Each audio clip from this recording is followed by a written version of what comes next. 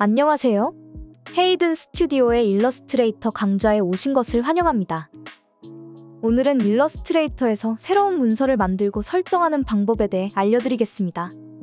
우선 일러스트레이터 메인 화면에서 새 파일을 클릭하거나 상단의 메뉴바에서 파일, 새로 만들기를 선택해 주세요.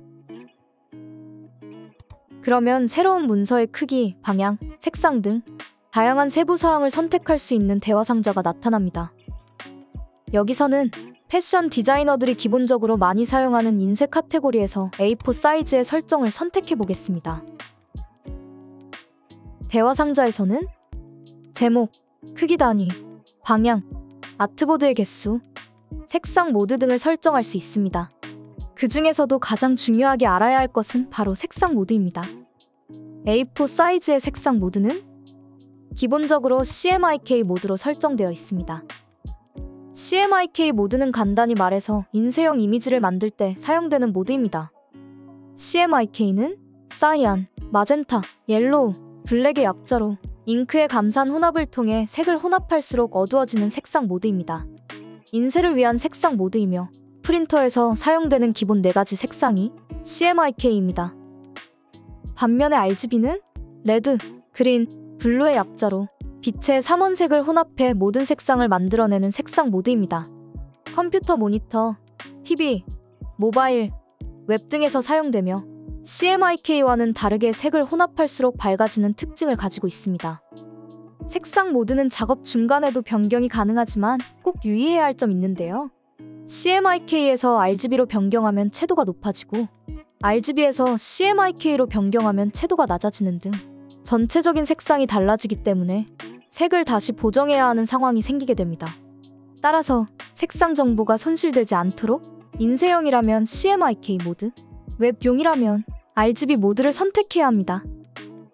패션 디자이너의 경우에는 작업지 시서나 디자인을 인쇄하는 경우가 많기 때문에 보통은 CMYK 모드로 작업하게 됩니다. 그러나 디지털 미디어를 위한 디자인의 경우 RGB 모드를 사용하기도 합니다.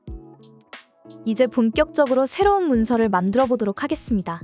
제목은 헤이든 스튜디오로 하고 치수는 센티미터, 방향은 가로로, 아트보드는 두 개로 설정하도록 했습니다. 아트보드는 크기에 따라 100개 이상을 만들 수도 있으며 작업 중에 추가하거나 삭제도 가능합니다.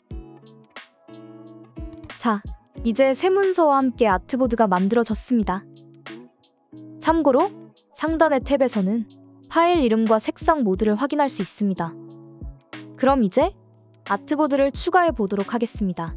아트보드를 추가하는 방법은 여러 가지가 있는데요. 첫 번째로는 패널에서 추가하는 방법입니다.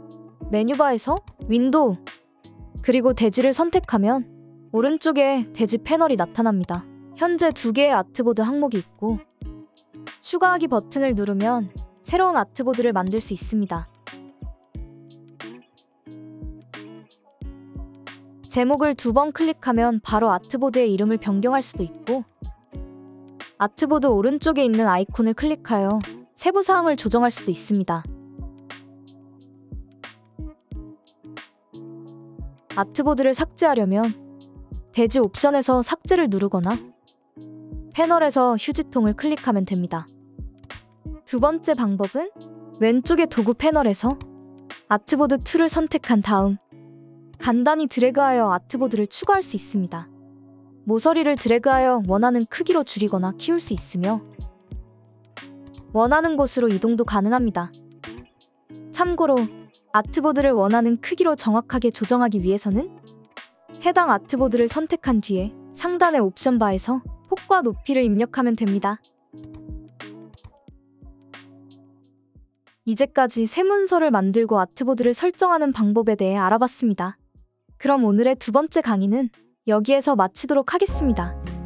헤이든 스튜디오 홈페이지에서 더 많은 디지털 패션 자료를 확인하실 수 있으며 구독과 좋아요도 꼭 부탁드립니다. 감사합니다.